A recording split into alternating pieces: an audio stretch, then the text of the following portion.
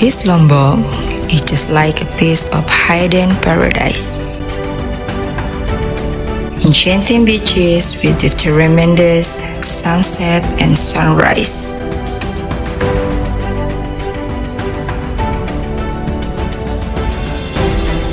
Friendly rural environment, Mount Rinjani's stunning panorama of rice terrace.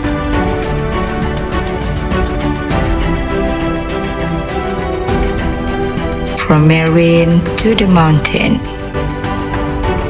Let's just travel to East Lombok.